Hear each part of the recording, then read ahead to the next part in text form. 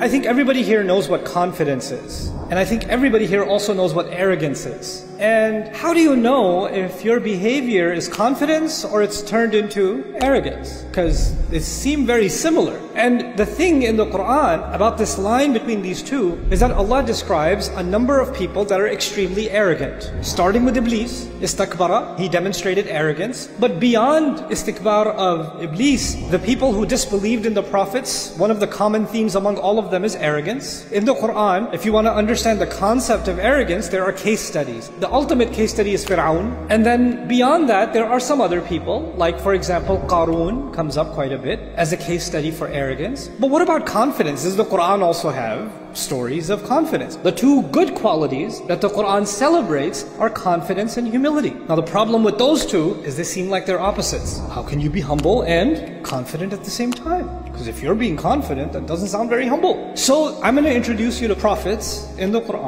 that are the example of confidence in the Quran. The top example is going to be Sulaiman alayhi salam. And then you could also add Yusuf alayhi salam. Let's begin with Yusuf alayhi salam. When he came out of prison, he was being called to the king's court أستخلصه لنفسي I want to put him exclusively under my service. The king was so impressed with this man for interpreting the dreams that he said, I want him to be my exclusive advisor, my personal advisor. When the king says, I'm going to put him exclusively in contact with me, he doesn't say, call him and get my secretary to take his email address down so I can stay in touch. No, no, no, no, no. He's got direct access. This is pretty powerful. And Yusuf alayhi salam very confidently says, no, I ain't coming. What happened with those ladies? 20 years ago, 25 years ago, I don't know how many years ago. I want that case to be reopened before I take this job. He's sitting in prison. Somebody sitting in prison is not in a position to negotiate. Even getting out of prison would be amazing. He's not just getting out of prison. He's getting a cabinet position next to the king of Egypt. And he's like, no, mm-mm, I want to clear my name first. Call those ladies. I'm not interested in this job. What kind of confidence is this? Where did that confidence come from? He knows that his knowledge is authoritative. He knows what he's talking about. That's his power. And that power gave him what?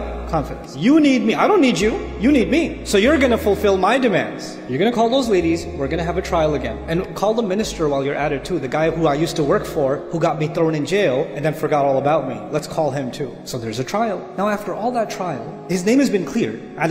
He just came out of jail. Where was he before he was in jail? He was a servant, a slave. And when he's in front of the king, next to the king is his military advisor, his economic advisor, his policy advisor, these cabinet ministers. They've been doing their job for 30 years, 40 years, 50 years. You imagine? Yeah? And he stands in that room after he's been exonerated and he says, "Ij'alli khaza'in al-ard." Put me in charge of the treasury. I need to become the treasurer of Egypt. I should be in charge of the entire economy of Egypt. And you're looking at this like, with what resume? He didn't stop there. Inni hafidhun alim. I am the one that will guard this job and I'm the one who knows what he's doing. What does that sound like?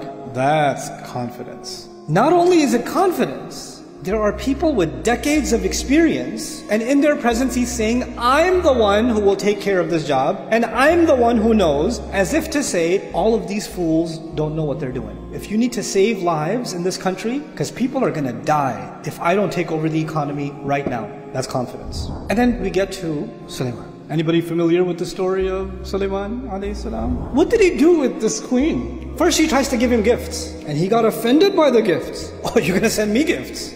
Oh, I'm gonna show you. You think I'm after your throne? No, no, no. I don't need your throne. And if I wanted your throne, I don't gotta go to your throne. I'll bring your throne to me. and he brings the throne. The jinn Ifrit brings the throne. She comes there, and by the way, the word qila is used. He didn't say, by the way, does that look like her throne? Huh? He's so powerful and he's so confident, he doesn't even bring it up. The ayah says, qila. It was said. There's multiple ways to think about this. The way I think about this is, imagine that he did this boss move, right? He brought the throne. She's here, and all the people who work for Sulaiman alayhi salam like, oh, what's gonna happen? But Sulaiman alayhi salam, is he going, oh my god, I can't wait to see the look on her face. Nah, nah, nah, he's too cool. Let me just show you around. Not a flinch, not even. So, notice anything? No, nothing. But some of the employees, some of the people who work in the court are so excited. The ayah says, it was said, meaning some other people said, hey, does that look like your throne?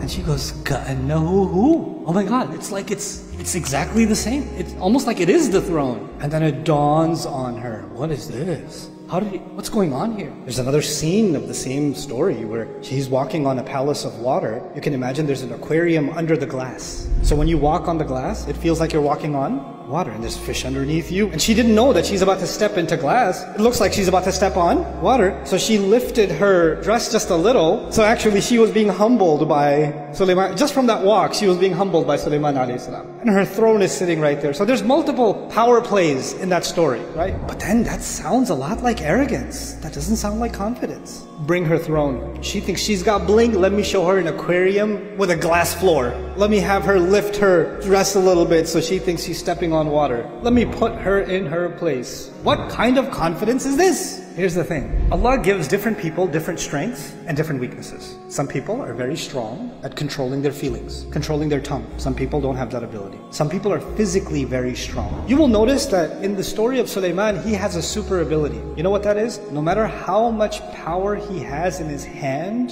and how much he shows that power to achieve a certain objective, it's never done for his own ego. He's got this amazing mulk that Allah has given him, right? But it seems like Allah has given him an amazing mulk over his own nafs. Understand that Sulaiman alayhi can show off a glass palace, can bring a throne, can humble a queen, but he's got a bigger objective than just boosting his ego. He's actually thinking strategically, I can avoid an entire war with these people because what's at the top of the house of cards? It's the queen. If the queen can be humbled, the entire nation will be humbled. And the only way to humble people in power is to show them you have more power than them. And so, if she's a queen, let me give her a royal welcome because she speaks that language. And that way, this will be a political boss move that only a strategist of that level can make. And anybody else, maybe even some of the staff looking at her people, the queen's people, ha, show off. Is Sulaiman alayhi showing off? No. But some people need a show for strategic reasons. The only place in the Quran you will find a dua that's hard to understand. Rabbi habli mulkan min ba'di. My Rabb, give me power, give me kingdom. Sulaiman asks Allah, give me power, give me kingdom that is not appropriate for anyone to have after I die. Ya Allah, you seem to have given me a control over my nafs that I know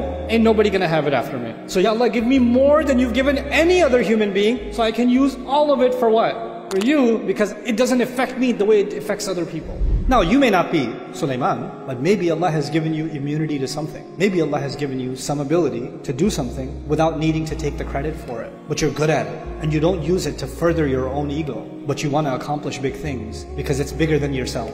But projecting it, demonstrating it, showing it, making it bigger, doing the, the branding of it. Isn't it branding, the glass floor? Isn't that branding? Isn't that advertising? You know, maybe sometimes the advertising, the strategy, the marketing of it, the positioning of it, the bling of it is part of a much bigger objective that has nothing to do with your own personal ego. It's absolutely incredible. That's the height of confidence. When you can have so much wealth and so much power and so much to show the world and none of it affects you because you're working on something bigger than yourself. It seems like we think confidence is a bad thing. It's not. Arrogance is a bad thing. Confidence is a necessity. You can't accomplish anything in life without confidence. You need it. May Allah Azza wa help us to become and to raise confident generations of Muslims that can bring the glory of this deen to the entire world.